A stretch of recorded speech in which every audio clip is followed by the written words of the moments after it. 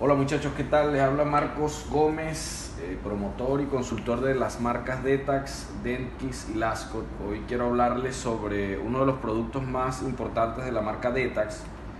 Es un material de obturación temporal, un material que se utiliza de manera provisoria en algún tipo de restauraciones donde el doctor necesita, eh, digamos, postergar la, la, restauración definitiva.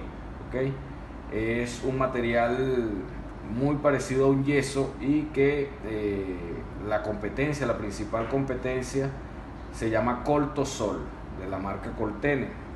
También dentro de la empresa Sarmiento tenemos una competencia interna que se llama ITEM. ¿okay? Ninguno como el Fermín.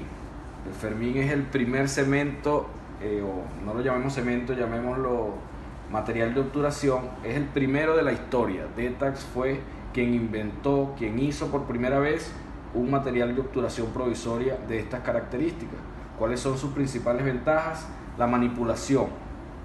La manipulación es muy sencilla debido a que se puede aplicar en cavidades, en digamos dientes que estén tanto húmedos como secos y no es necesario hacer mezclas ni espatular. Solo con tomar una pequeña porción, obviamente dependiendo de qué tamaño sea la cavidad, el doctor puede llevarla a boca con una espátula o con la mano y